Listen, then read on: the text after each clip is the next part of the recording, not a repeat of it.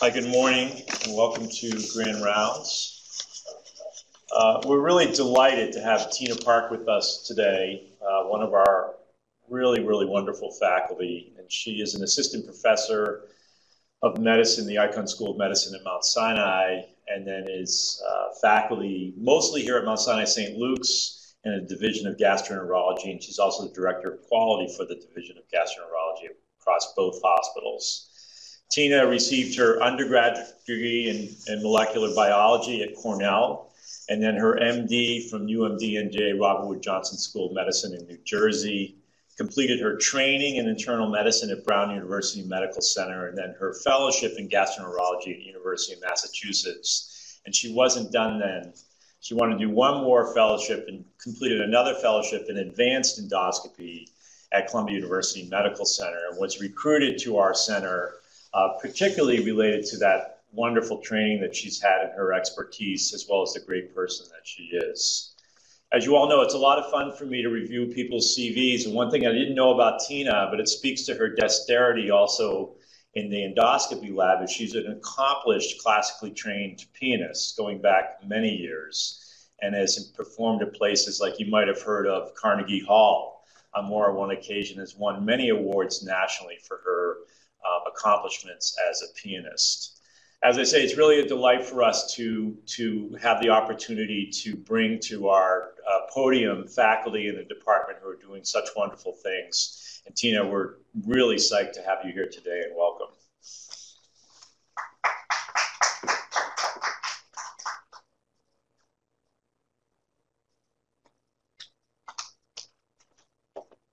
Good morning, everyone. Um, I'm Tina Park, and thank you for that kind introduction today, and thanks for having me today to be your speaker. Um, I've been asked to talk to you about gastric cancer and role of endoscopy, particularly role of endoscopic submucosal dissection today. Um, so today I'd like to give you a brief introduction to gastric cancer, going over classifications and risk and protective factors, little bit about carcinogenesis and role of endoscopy in terms of screening, um, diagnosis, staging, and therapeutic options like EMR or ESD. We'll go over ESD outcomes today and surveillance guidelines as well. So gastric cancer is the fourth most common cancer worldwide, uh, accounted for 700,000 uh, deaths in 2012. Uh, it's the second least, uh, second leading cause of death worldwide. Um, its incidence is highest in Eastern um, Asia, in East uh, Europe, South America, and it's not as prevalent in Africa or North America. The Lauren classification divides gastric cancer into two main types. One is intestinal type, which is well differentiated, uh, tends to be slowly growing, affecting older population, uh, men more so than women. Um, it's associated with intestinal metaplasia, um, and it's found uh, the distal uh, stomach and the antrum more so than the body or the cardia. This type is more prevalent in Asia, uh, parts of Europe and South America, whereas the diffuse type uh, tends to be poorly differentiated, more aggressive, scattered throughout the stomach. Uh, it's quicker to metastasize and affects men and women equally, particularly in the younger population. Uh, when looking at the stomach, um, this is the antrum body and the top portion is the cardia. Um, though gastric cancer is more prevalent in Asia, uh, now we're finding out that uh, cardiac cancer uh, incidence is rising in the Western countries, particularly in the Caucasian population. So here are some risk factors for gastric cancer. Um, older age, male sex, smoking, family history of gastric cancers, H. pylori infections, chronic atrophic gastritis, intestinal metaplasia, uh, certain types of gastric polyps, um, and hereditary syndromes. So the peak incidence for gastric cancer is age between 50 to 70. Uh, only 1% um, of cases occur between ages 20 to 34, whereas 29% um, between ages 75 and 84. Uh, when comparing um, individuals with BMI less than 25 with those with BMI 30 to 35, um, people um, who are obese are at increased risk for particularly gastric cardiac cancer. Um, and there are a number of studies showing that um, having a BMI higher than 25 is associated with increased odds ratio for gastric cancer. H. pylori is uh, probably the only bacteria that's known to be a carcinogen. It's classified as class 1 carcinogen. It's found in 89% of the distal gastric cancers. Um, the strains that are positive for virulent factor CAGA are particularly um, risky for in further increasing your cancer risk by 1.64 fold. Um, so this infection induces chronic inflammatory state, uh, which then causes uh, gastric atrophy. And from there, um, you can develop intestinal metaplasia, and from there, dysplasia can arise, uh, leading to cancer. The odds ratio for gastric cancer in H. pylori infected individuals is 1.92. And um, number of studies in Asia and Europe have shown that H. pylori eradication resulted in lower rates of recurrence for gastric cancer um, and lower rates of metachronous cancer after resection. Um, and these factors like smoking, H. pylori infections, high salt diet or preserved foods, or nitrates that can be converted to nitrosic compounds um, they're all found to um, cause or induce atrophic gastritis. Um, in this state, uh, there's loss of parietal cells, reduction in acid production. Uh, this then increases your serum gastrin levels and induces proliferation of your gastric epithelium. And in chronic long-standing atrophic gastritis, again, um, this can lead into intestinal metaplasia, which is a condition where your gastric epithelium starts to resemble that of small intestines or large intestine um, and it can be quite uh, focal or limited to certain parts of the stomach um, without really discrete lesions, or it can be extensive involving the entire stomach. Uh, this condition has tenfold increased risk of gastric cancer compared to uh, those who do not have intestinal metaplasia. And in this study, you can see that all these conditions, gastritis, atrophic gastritis, intestinal metaplasia, and dysplasia, will increase your cumulative incidence of gastric cancer, but the red line here is the intestinal metaplasia that uh, puts you at particularly high risk for uh, gastric cancer. Um, there are a number of different gastric polyps. Uh, the fundic polyps are most common uh, types of polyps, and these are benign. They account for 70 to 90% of gastric polyps. Um, there are other types of polyps like hyperplastic adenomas, um, hyperplastic polyps um, are generally uh, benign, but uh, those who are larger than one centimeters or pedunculated in shape uh, carries risk of malignancy. Um, in fact, 5 to 19% of hyperplastic gastric polyps carry focal uh, foci of dysplasia. And this appearance is quite different from um, our benign fundic gland polyps, which tends to have a smooth surface kind of sporadic, um, scattered throughout the stomach. Um, and there are adenomas, and similar to colon polyps, these are pre-cancerous uh, lesions found in the stomach, and they should be removed. Um, and this accounts for 8 to 59% of, um, uh, they're associated with uh, gastric cancer. And there are a number of different hereditary syndromes um, that will increase your risk of gastric cancer as well. Um, hereditary diffuse gastric cancer is an autosomal dominant um, syndrome. Um, there is a cumulative risk for gastric cancer by age 80, 70% um, in men and 56% in women. Um, the average age uh, at diagnosis of gastric cancer in this condition is 38. And because of this, recommendation is to undergo prophylactic gastrectomy between the ages 20 to 30. Um, the condition here, uh, GAPPS, is also another autosomal dominant condition where gastric cancer occurs in um, as early as age 30s. Um, this is different from regular sporadic fundic polyps. This is a polyposis syndrome where there are hundreds of fundic polyps involving um, the stomach. Um, and as you know already, um, FAP, Lynch syndrome, Peutz-Jeghers syndrome will also increase your risk of gastric cancer. And here are some, some of the protective factors for gastric cancer. Um, there are animal studies showing that uh, COX2 expression is upregulated in gastric cancer. It's involved in um, apoptosis and tumor growth. Um, and exposure to cigarette smoking or H. pylori infection, it has also also been shown to induce COX2. Um, so there are meta-analyses or cohort studies or um, prospective studies even showing reduction in risk of non-cardiac gastric cancer with regular use of aspirin or NSAIDs at least once a week over five years. Um, there are population studies showing that regular use of aspirin was found to be protective um, against gastric cancer as well.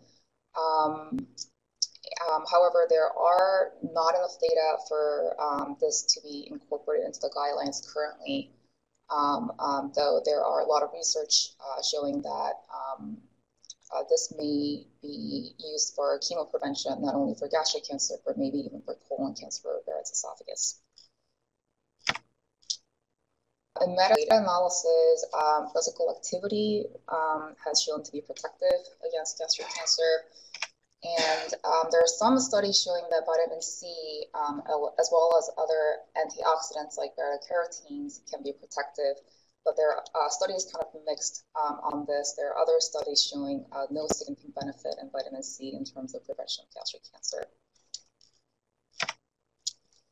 So here are some of the symptoms for gastric cancers. Um, abdominal pain, nausea, dyspepsia, early satiety, bleeding, um, dysphagia if the lesion is in the cardia or near the G junction, or weight loss. Um, I like to highlight that these symptoms may not be present in early ages, and many of them be asymptomatic or have very vague or non-specific symptoms. Uh, and maybe because of this, the survival, five-year survival rate from gastric cancer in the U.S. is quite low, around 20%.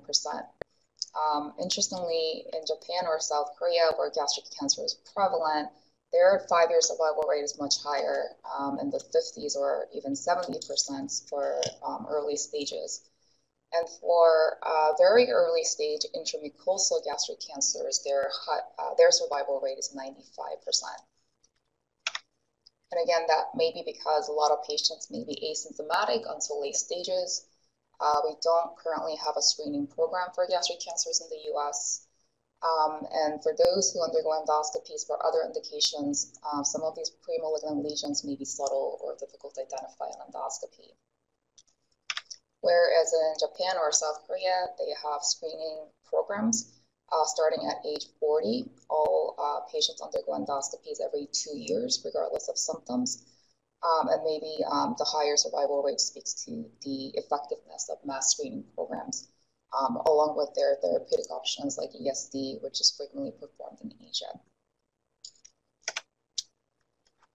So again, um, chronic atrophic gastritis, um, this tends to lead into intestinal metaplasia, then can progress to low-grade dysplasia, high-grade dysplasia, um, intramucosal cancers, and then on to more invasive cancers. Um, the early gastric cancer kind of groups this whole um, three groups together. Um, and again, um, the scary part is that many patients may not have alarming symptoms until the late stages here. Um, as you can see on these pictures, gastritis or intestinal metaplasia may look very similar to normal stomach such as here, um, or intestinal metaplasia can be uh, found in this white patchy flat lesions. Um, and this is an example of a low-grade dysplasia, which again is a very subtle uh, finding on endoscopy. Uh, this is an example of a high-grade dysplasia lesion, um, and this is a intramucosal cancer, and this is more of an invasive cancer. Um, so not only they do not have symptoms, but um, uh, this, uh, the lesions may be very subtle in endoscopy, and um, the rate of progression from dysplasia to cancer uh, can be as high as 73% per year, which is very high. Um, so 25% of uh, patients diagnosed with high-grade dysplasia um, have found to be diagnosed also with cancer within one year of their diagnosis. Um, low-grade dysplasia uh, tends to progress to cancer um, in 30% of cases over a median uh, period of 10 to 48 months. Um, high-grade dysplasia uh, can progress to cancer in 60 to 85% of cases over a median period of 4 to 48 months.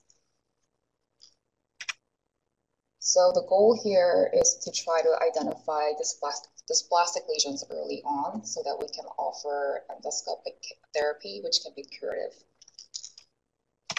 So how do we identify lesions? Uh, one may be to have a screening program. Um, and uh, second might be to utilize um, endoscopy, high magnification endoscopy, or narrowband imaging, which helps us uh, visualize lesions better. And once we have um, identified intestinal metaplasia, then we should be taking um, adequate biopsies from the stomach, at least two from the antrum, uh, one from the incisura, and two from the body of the stomach to ensure that we're looking actively for uh, changes like dysplasia. Uh, screening programs in South Korea, I believe, was adopted in 1996. And since launching their screening programs, uh, their detection of early gastric cancers increased from 28% in 1995 to 57% in 2009. And their five year survival rates from gastric cancer increased uh, significantly from low 60s to high 70% over a 10 year period of time. Um, we do not currently have a screening protocol or guidelines in the US. Um, however, uh, we should consider offering screening to immigrants from high risk locations, um, certainly for first generations, 1.5 generations, or even for second generations. And for those who are not from these areas or born in the US, we can consider selectively screening high risk group populations, those with intestinal metaplasia, those with gastric adenomas, or family history of gastric cancer.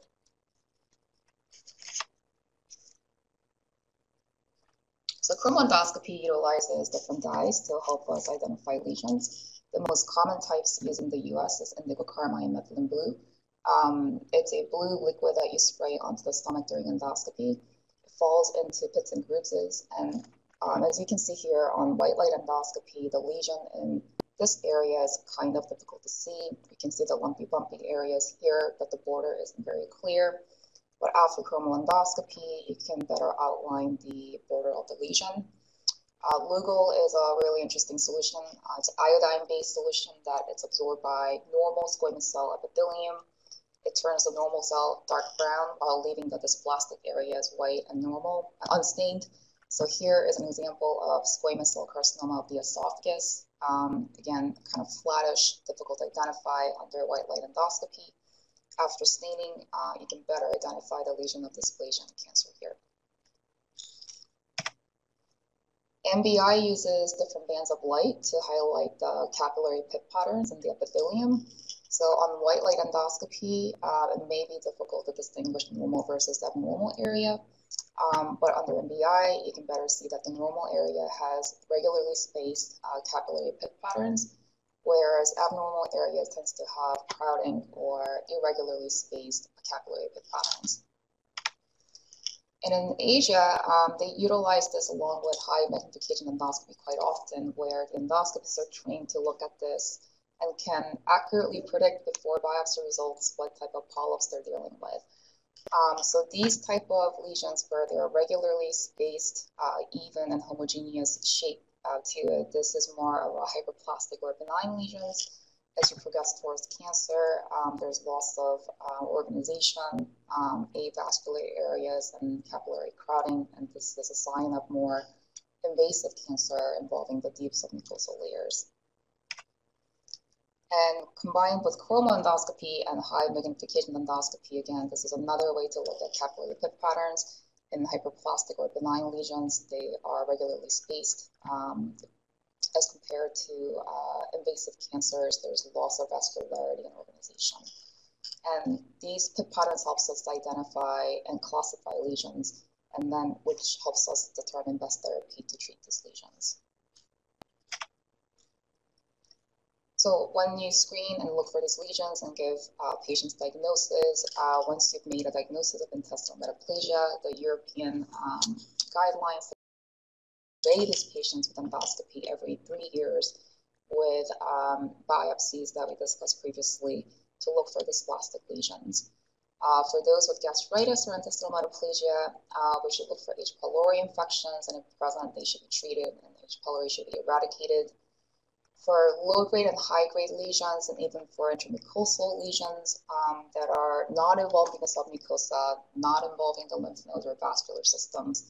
Um, these lesions can be treated with endoscopy, um, um and we'll talk about the ESD technique in a minute. Um, and if you happen to find these lesions um, accidentally on your biopsies and there's no of lesions, then that's a tough case. But the recommendation is to them to repeat the endoscopy immediately to look for lesions and to repeat them every six months.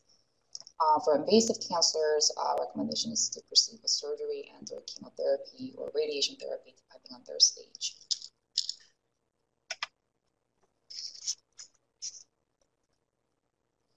So EUS uses uh, white light endoscopy to look at the mucosa um, with a camera, but then we have an ultrasound probe next to the camera that allows us to look into deeper layers of the stomach wall. Um, and this is good for local staging, particularly T staging and N staging, where look at where we look at uh, depth of invasion for lesions. So this is an example of a lesion in the stomach, um, and it's involving the top four layers, uh, the mucosa, uh, deep mucosa, submucosa, and muscularis propria. Uh, when the lesion is very superficial, involving um, only the top two layers, um, this is T1A lesion. Um, if it involves a submucosal layer, then that becomes T1B lesion. When it invades into the muscularis propria, it becomes T2, and into the serosa becomes T3, and beyond the serosa into the peritoneum or adjacent organs becomes T4. We can look for also presence of abnormal lymph nodes and uh, pass a needle to biopsy these lymph nodes for uh, to look for malignant involvement. When there are multiple lymph nodes, uh, that determines, uh, depending on the number of the lymph nodes, determines N staging. And CT scan is useful for looking for distant metastases. So depending on um, which T, N, or M staging, you can then determine the staging of your gastric cancer. And for um, early superficial cancers involving just the mucosal layer, ESD can be applied uh, to treat these cancers, whereas those that involve uh, the deeper layers of the stomach or the lymph nodes, they may benefit from surgery and or um, chemotherapy. So ESD is a technique um, that was actually developed in Japan to treat early gastric lesions in the 1990s.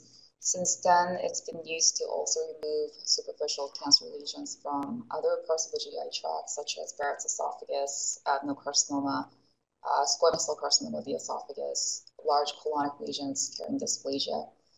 And the goal here is to remove um, dysplastic lesions or cancerous lesions uh, by endoscopy in one piece. Uh, that's called an en bloc resection with negative lateral and vertical margins. Um, so when we say curative complete resection or R0 resection, we're talking about um, cancerous lesions coming out in one piece with negative margins. And we can accomplish this by using um, regular endoscope uh, with uh, different types of knives and devices that we have to dissect the lesions. And we have coagraspers and other devices to help control bleeding um, and to treat complications. This technique is indicated for early gastric cancer lesions um, involving the mucosal layer, um, less than two centimeters, that are well differentiated, not ulcerated, and without lymphovascular invasion. Um, this is the absolute criteria for gastric ESD. Um, the Japanese guidelines have then extended their criteria to also include poorly differentiated cancers um, less than two centimeters um, those that involve the submucosal layer for less than 500 microgram, uh, micrometers um, in depth, um, and those that are larger than two centimeters, as, as long as they're not ulcerated and well differentiated. And again, um, the steps involved are that we're, we're going to identify the border of the lesion and mark around the lesion to ensure that we can get negative margins. We'll inject a solution underneath the lesion into the submucosal layer to lift it away from the muscle layer. And then under vision, we will um, make a circumferential incision around the lesion um, and then dissect in the submucosal layer until the lesion comes off completely. And I have a video of this, and unfortunately, I think the video within the presentation is not playing, so let me just toggle back and forth. I apologize.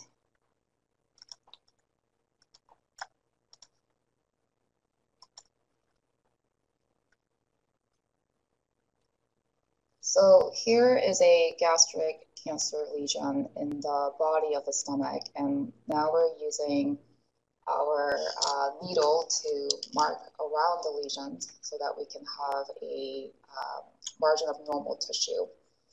We're using a needle to inject underneath uh, the lesion into the submucosal layer so the whole thing has lifted. And now we're using the knives to um, make our circumferential incision.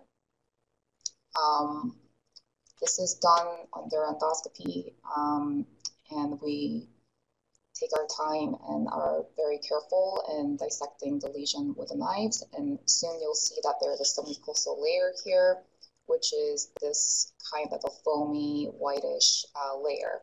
So here is the gastric cancer lesion uh, to the right of us, and to the left of us is the muscle layer, and beyond this is the peritoneum. So we have a very little space to work with, but it's a really cool, innovative technique to be able to remove cancerous lesions under vision at the level of submucosa. Um, now, sometimes during the dissection, you'll um, see vessels, um, and there's actually a vessel coming up right here towards the right of us. Uh, when this happens, that we can use coagulation on um, our needle to um, ligate or coagulate the vessels.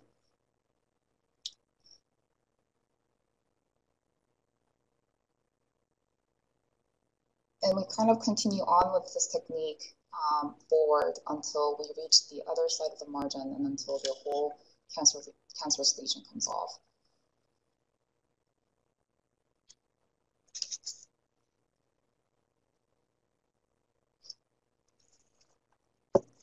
You have to be careful of not going too further into the muscle layer.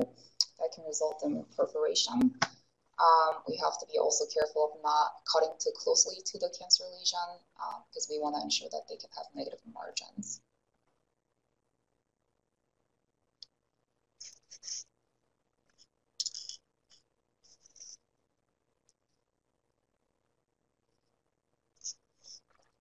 So now this is the final stage where the lesion comes off. And this is a resection bed so cancerous lesion in the middle, uh, negative margin around.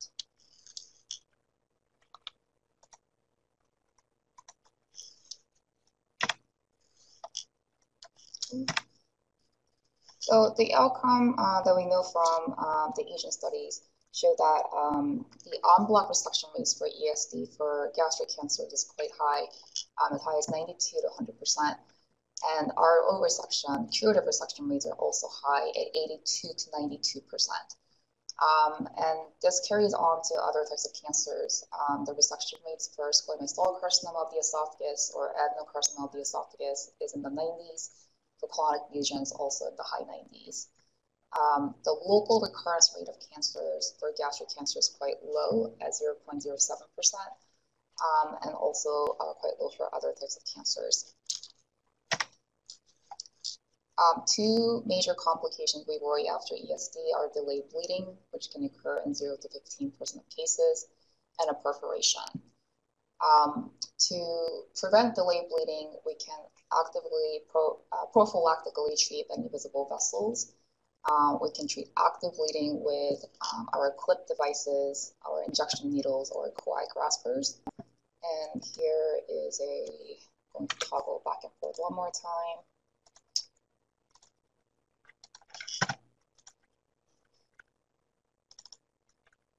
Here is a resection bed after ESD. There is a bit of bleeding you notice from 6 o'clock position from a vessel. We're going to grab that vessel with our coagraspers, and you can notice that temporarily the bleeding has stopped when we grab that vessel. When we let go, uh, there's actually active bleeding from this vessel. Um, so we're again going to grab that vessel with our coagraspers, which then um, stops the bleeding. We're going to apply our um, RB um, uh, heat to coagulate the vessels, and after that, the hemostasis has been achieved. And uh, same thing, if a perforation were to happen, uh, we can try to close with our clip devices, but we can then also use our suturing devices to close the perforation. Um, a lot of times we actually opt to prophylactically close our ESD sites uh, with our suturing devices. Uh, this is a suturing device that goes on the tip of the endoscope we're uh, passing a needle device with the sutures back and forth between these two um, handles.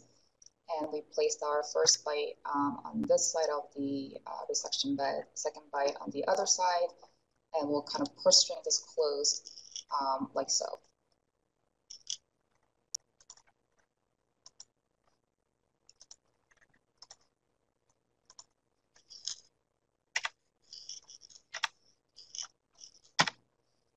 Okay, and this technique is different from our traditional way of resecting polyps or lesions. Um, and EMR um, is a technique where that's similar to ESD. We inject underneath the uh, lesion to give that mucosal lift away from the muscle layer. But instead of dissecting under vision with knives, um, we can use snare device to close um, and resect the lesion. Um, the advantage to this is that it's a less complicated procedure um, that involves shorter procedure time. The disadvantage is that we're not really visualizing the submucosal layer to really ensure the negative margins. Um, and here is a video of EMR.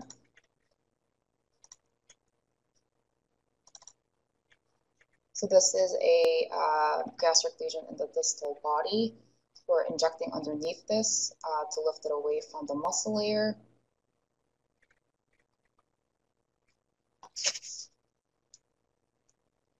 This is a snare device that goes on top and we're going to slowly try to close the snare um, and try to keep the entire lesion within the snare device. Uh, when we close, we can apply uh, cautery and cutting um, current to resect the lesion. And after resection, um, you can see the resection bed. Um, so the problem with EMR um, is that sometimes the snare slips off of the lesions, leaving a little bit of residual tissue behind. So this will be a failed en bloc resection, and this will have to be removed in piecemeal fa fashion, which is associated with a higher risk of recurrence.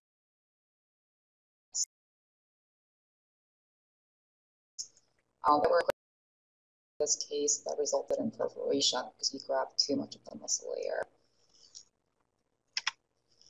So compared to EMR, ESD was associated with higher rates of en bloc resection, 92% uh, versus 52%, higher rates of complete resection, curative resection, 82% versus 42%, and lower rates of recurrence um, at 1% versus 6%. Um, however, ESD was associated with longer procedure time, 85 minutes versus 35 minutes, higher rates of perforation, 4 versus 1%, and higher rates of intraoperative bleeding, though ultimately there was no difference in delayed bleeding rates or mortality rate. And again, um, the key point here is that when you're looking at ESD versus EMR, resecting early gastric lesions, the local recurrence rate uh, was much higher in EMR compared to ESD group, uh, especially if the lesion was not removed in one piece. So piecemeal resection EMR has the highest rates of local recurrence rate um, as compared to ESD. In this group, they had zero recurrence rates. How does it compare to surgery? So this is looking at um, ESD versus surgery for differentiated cancer uh, using the Japanese expanded criteria and studies have shown that the length of hospital stay is much shorter for ESD group compared to surgery group, and ESD was associated with lower rates of complication compared to surgery. Um, the procedure-related mortality rate was also significantly lower in the ESD group compared to surgery. Significant difference in recurrence rate or five-year survival rate between the two groups.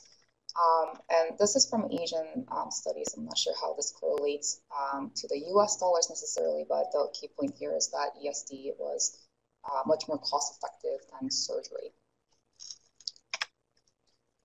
Um, this is another large uh, center trial looking at ESD versus surgery for early uh, gastric cancer in the intramucosal and submucosal layers.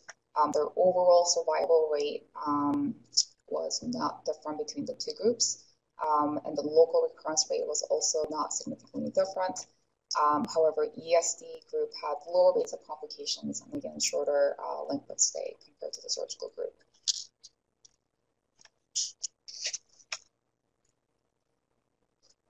So after ESD, the management and surveillance really is depends on histology. Um, if the lesion that you have resected completely is uh, well differentiated mucosal and meets these criteria, or even in the submucosal layer it's in the top uh, 500 micrometers, then the chances of lymph node metastases is very low at 0 to 1%, um, 0.2% if you follow the absolute criteria. So in these cases, um, if you achieved en bloc complete resection, ESD is considered to be curative. Um, and afterwards, um, what you would recommend um, is endoscopy every three to six months and then annually uh, for surveillance. Um, if you remove the lesion, but the lesion type is poorly differentiated, larger in size, um, with invasion into the submucosal layer, or you have positive margins, then your lymph node metastases is quite high, as high as 20%. So these patients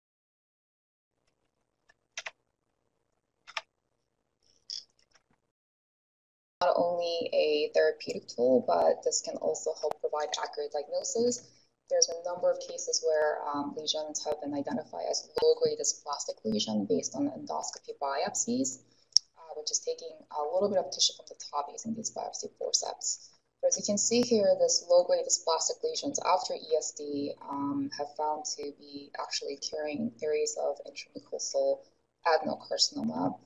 And in studies, they found that um, when they take lesions with low-grade dysplasia um, after ESD, about 7% of them were upgraded to high-grade dysplasia, and 8% of them were upgraded to adenocarcinoma. And this is actually a picture of my ESD patient who was referred to me for non-healing gastric ulcer uh, with biopsies uh, showing evidence of high-grade dysplasia um, we've done the ESD here, and you can see in the submucosal layer, unlike the video I've shown you, um, there are lots of fibrosis and scarring and lots of vascular areas. And the um, um, final path actually came back as poorly differentiated adenocarcinoma. So our lesion was also upgraded from high grade to adenocarcinoma. Uh, luckily, we were able to have negative margins both vertically and laterally. And this was considered to be curative resection, and the patient did quite well.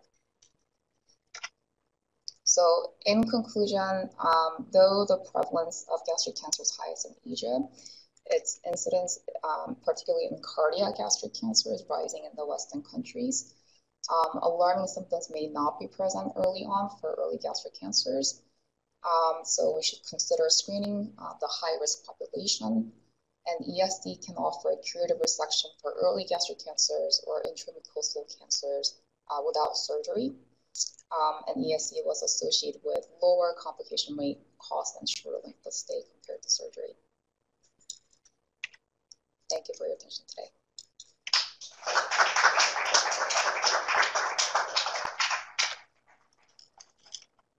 Questions for Dr. Park?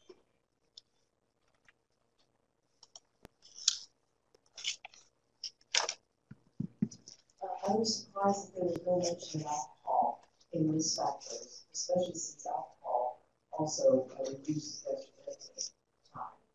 And the other is uh, while PPIs, which is now used like water over the counter, and um, uh, in ch- changing gastric acidity and uh, altering the risk. And the fatter you are, the more they see you take PPI. So, uh, could you comment on this?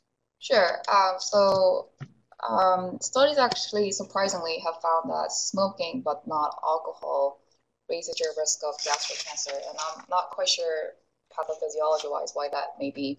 Um, but I do think that um, the pathogenesis that I've shown you here uh, with a COX, um, a COX2 expression, um, smoking and H. pylori seems to be the main ones that induces that and kind of alters your um, apoptosis or tumor growth.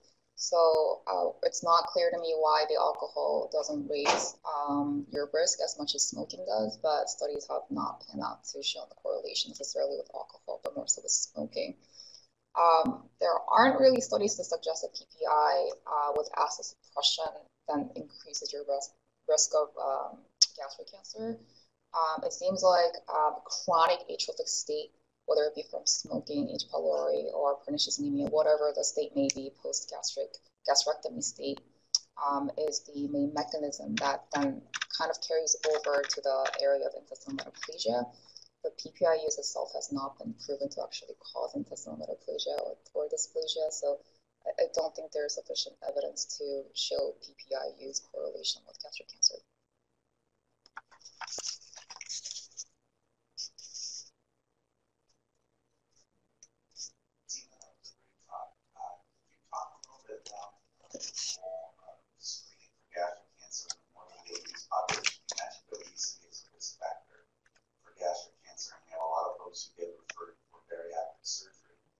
What's the role uh, preoperatively, and then what do you have to worry about if you have a Roux-en-Y gastric bypass with an excluded stomach and has that history some you know, their BMI drops, we still have to worry about gastric cancer and that, uh, that excluded stomach? Sure. So I think um, the obesity raises your risk of cardiac gastric cancer. So in Roux-en-Y gastric bypass anatomy, where there's excluded stomach, but more so uh, involving the distal stomach, I think um, you're still able to kind of look and screen for lesions in the cardia, which is in your proximal stomach and should be visible in post-Roux-en-Y anatomy. Um, as for your first question with obesity and role of screening, again, we don't have sufficient data or guidelines to suggest that we should be actively screening for these people, but I'll say the screening probably is very similar to Barrett's esophagus in terms of looking at obesity or reflux or chronic states where there's damage um, to the proximal stomach near the J junction. So I think if patients are coming in anyways for uh, reflux and Barrett's screening because they meet the criteria, whether it be based on their race, smoking, or obesity, um, I think we should be actively looking also um, at the cardia uh, with retroflexion to look for gastric lesions, um, not only for Barrett's esophagus. Um, again, it's a very uh, tough question to answer. Um, and um, I think we'll probably have more data coming up in the next 20 years or so as we see more cardiac cancers in the Western states. Um, but I think for now, uh, we should offer screening for those people from um, high risk locations, those people who are coming in for Barrett's esophagus screening uh, for those uh, who have conditions like intestinal metaplasia on um, biopsies, um, we should actively follow up and offer screening um, so that you know we can try to catch these dysplastic lesions early on. Tina, thanks for a great talk, and again, we're really thrilled to, to know about your expertise in this area. I did just tease out for me, if you would, um, H. pylori as a veins. One, if we were creating a screening program, would there be an argument which would say in high risk populations, the first step in that program would just be to look for H. pylori? And then, second, um, is there any data about duration of infection or you know, purported duration of infection and likelihood of developing a malignancy? So there's no data um, showing that um, right now. Um, and actually, they've looked into prophylactically just treating for H. pylori population-wide to see if that actually reduces your cancer. Um, that has not pan out to actually so, show reduction in gastric cancer, interestingly. So I don't think it's just the H. pylori infection. It truly is a multifactorial uh, disease. Um, but if you were to set up a screening program, I do think that it makes sense to actively look for H. pylori and offer eradication um, particularly if that person has any type of atrophic gastritis. Um, because studies have shown that if you cure and eradicate H. pylori, your recurrence rate after resection or therapy is much lower, and it is found in 89% of cases. So, so there's no clear study seeing that it doesn't always prevent cancer. I think it makes sense logically to look for those infections. Um, it's cost effective to treat them. It's not difficult to, it's not invasive testing. So I think um, if we were to set up um, screening program, that does absolutely make sense to look for H. pylori and treat for H. pylori. I ask the question Yes. Uh, could you uh, discuss a little bit the relationship of diet to uh, gastric cancer?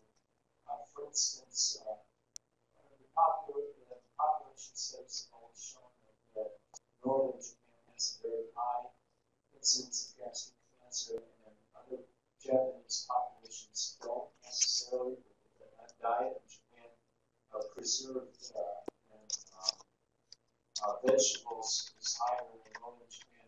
What's the status of that idea? What's the role of diet in the incidence of gastric cancer?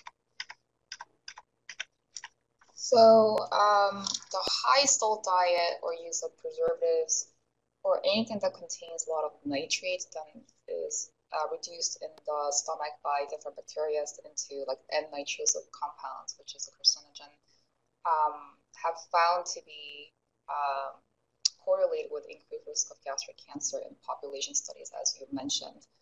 Um, I think regionally speaking, Asian uh, foods uh, whether it be South Korea or Japan, um, have traditionally have had um, uh, like a pickle foods or salty uh, foods. Um, so that is thought to be somewhat correlated with the regional effect that you are describing. Um, again, it's not just the diet itself. I think it truly is a multifactorial disease where um, I think in Japan there is about 90% of H. pylori strains there have or carry the virulence factors. So it may be a combination not only with the diet, but also with the type of H. pylori strain that they that's prevalent in Japan, plus um, the family uh, history, plus genetics and other number of factors that all contribute to the high prevalence that we're seeing in Japan. And again, um, number of studies have shown that, uh, particularly in China, Japan, and South Korea, that vitamin C or you know, um, diet that's really high in fruits and vegetables and antioxidants um, are thought to really decrease your cancer risk.